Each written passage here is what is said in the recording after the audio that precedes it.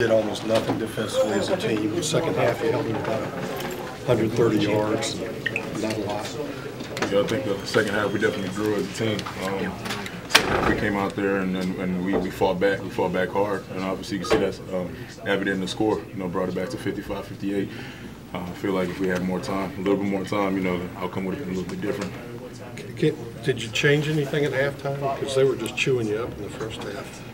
Just our mentality, you know, we just said, hey, let's go out there and just hit them back in the mouth. You know, they came out swinging at first, um, and then we just went in at halftime, came back out, and we were ready to go. You know, How frustrating was that first half for you guys? It was definitely frustrating. I mean, it's just pound, pound, uh, pound the ball, ball football, you know, and just trying to pound it down your throat, you know. And um, I think in the first half, it was just came out a little slow, you know, but uh, definitely picked it up in the second half, and and definitely fought back hard and brought the score back into reasonable means.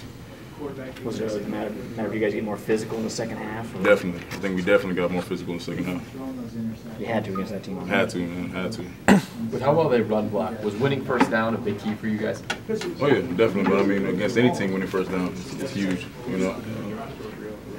for a defensive player to play in a game that's both teams going in the 50s, that's got to be a little disheartening, right?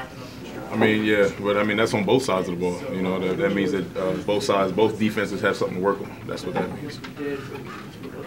You guys haven't lost any confidence defensively yet? No, definitely not. You know, uh, with previous Duke teams, this this battling back and bringing the score where, where it happened to be this time probably wouldn't have happened. But this is the new Duke, you know. So we're getting better. We're getting better every game, and I think we def- definitely grew as a as a as a team in the second half. How do you convince people they see that 50 on the board that you guys are getting better? How, how do you convince them of that? Go ahead and say, come line up against us, and we'll show you. No, Pitt's last ride. Uh, you guys had a third and long, but they completed the pass. Just how much did it hurt uh, to see that after you guys have fought so hard to get back? I mean, it, it was definitely we took a blow. You know, we took a blow, but um, we definitely fought back hard. I mean, we, we, we came back, you know, from a, from a pretty pretty good deficit, you know, and um, we, we worked and we showed people that, that this is this is a new Duke team, you know, we're, and we're, we're coming, you know. And what did coach tell you guys in the locker room afterward?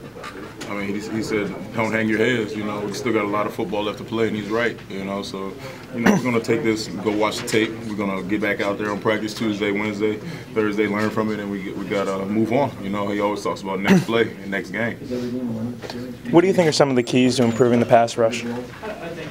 Getting off blocks, you know, I mean, we, I think we, we, stayed, we stayed on blocks a little too long, you know, mm-hmm. just worried about that run, you know, trying to stop the run, stop the run, stop the run, then you got to convert.